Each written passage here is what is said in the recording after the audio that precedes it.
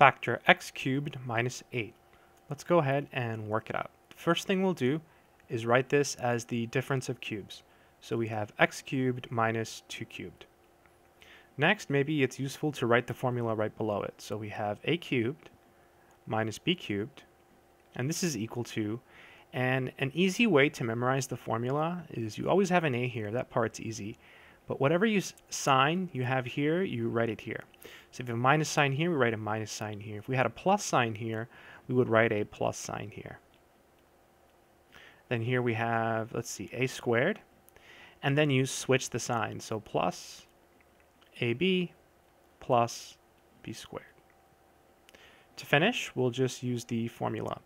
So here we have a is x and b is 2. So we end up with x minus 2. And then we have a squared, so we get x squared, plus ab, so simply 2x.